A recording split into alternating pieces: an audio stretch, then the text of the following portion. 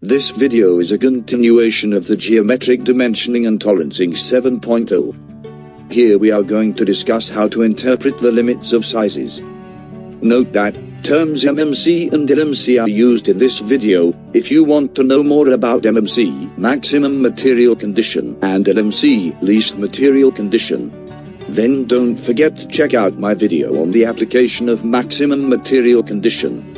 If you find this video informative and useful, then do subscribe to my channel and hit the bell icon. Limits of size. Unless otherwise specified, the limits of the size of a feature prescribe the extent within which variations of geometric form, as well as size, are allowed. In this example, we are going to look at the diameter feature with the upper limit as 20.1 and lower limit as 20.0. This control applies solely to individual regular features of size, which is the diameter. The actual local size of an individual feature at each cross-section shall be within the specified tolerance of size, which is it should be within 20.0 and 20.1. First, we are going to discuss the variations of form. The form of an individual regular feature of size is controlled by its limits of size to the extent prescribed as illustrated. You will see this on the drawing. And it allows this form. The surface or surfaces of a regular feature of size shall not extend beyond a boundary envelope of perfect form at MMC. This boundary is the true geometric form represented by the drawing. No variation in form is permitted if the regular feature of size is produced at its MMC limit of size, unless a straightness or flatness tolerance is associated with the size dimension or the independency symbol is applied as illustrated. Where the actual local size of a regular feature of size has departed from MMC toward LMC, a local variation in form is allowed, equal to the amount of such departure and where there is no default requirement for a boundary of perfect form at LMC. Thus, a regular feature of size produced at its LMC limit of size is permitted to vary from true form to the maximum variation allowed by the boundary of perfect form at MMC. In cases where a geometric tolerance is specified to apply at LMC, perfect form at LMC is required. This condition will be discussed in the following videos. When form control does not apply, the control of geometric form prescribed by limits of size does not apply to the following. Stock, such as bars, sheets, tubing, structural shapes, and other items produced to established industry or government standards that prescribe limits for straightness, flatness, and other geometric characteristics unless geometric tolerances are specified on the drawing of a part made from these items. Standards for these items govern the surfaces that remain in the as furnished condition on the finished part.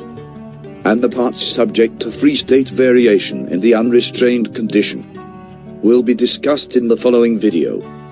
Where perfect form at MMC not required.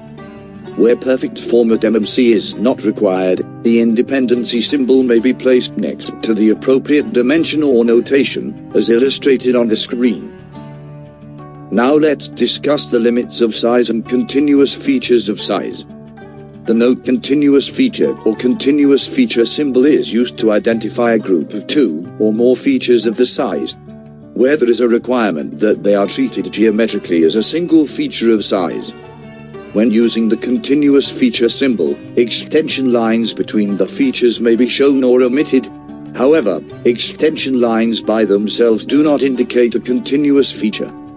In this example, you can see that each cross-section of the object lies within the limit of the size. To accept this part, no portion of the continuous feature shall extend outside this envelope. Taking a look at the second example, for continuous features with the internal cylindrical feature.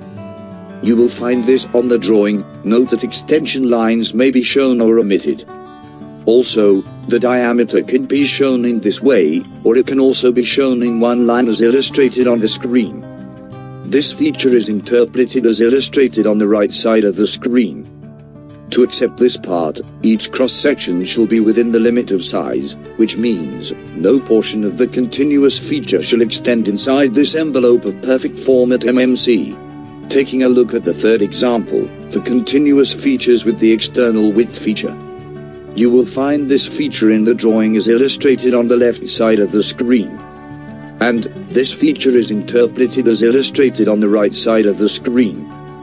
To accept this part, each cross-section shall be within the limit of size, which means, no portion of the continuous feature shall extend inside this envelope of perfect form at MMC. With this third example, we come to the end of this video. Hope you found this video informative and useful. Do, subscribe to my channel and hit the bell icon, to catch more videos on geometric dimensioning and tolerancing. Thank you for watching.